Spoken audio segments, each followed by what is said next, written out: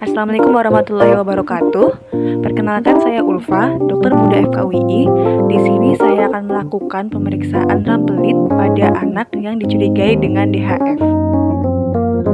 Langkah-langkah yang digunakan pada pemeriksaan ini sesuai dengan pedoman diagnosis dan tata laksana infeksi virus denggi pada anak.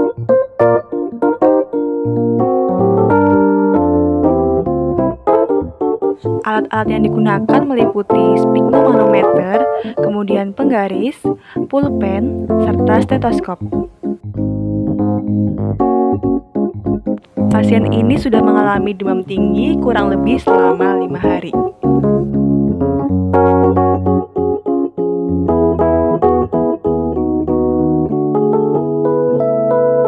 Setelah manset terpasang, ukurlah tekanan darah pasien.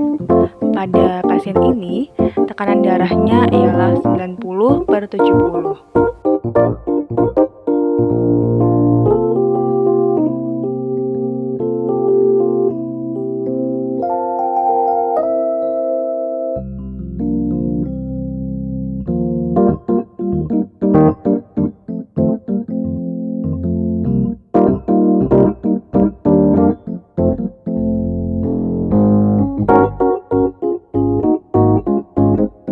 Kemudian, tentukan nilai tengah pada pasien ini.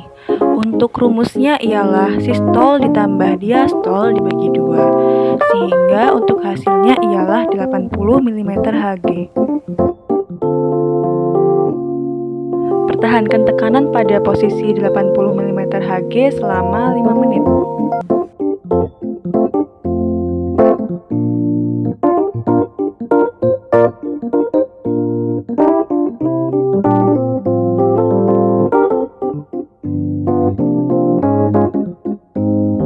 A few moments later. Setelah 5 menit pemeriksaan, muncul beberapa peteki pada area bagian distal fossa cuviti.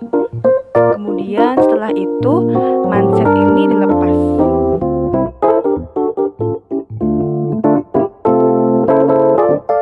Setelah manset dilepas, tunggu selama sekitar 2 menit. Kemudian, buatlah lingkaran berdiameter kurang lebih 2,5 cm. Later. Jumlah peteki pada lingkaran tersebut hasilnya lebih dari 10, sehingga untuk pemeriksaan uji torniket atau uji rampelit dinyatakan positif.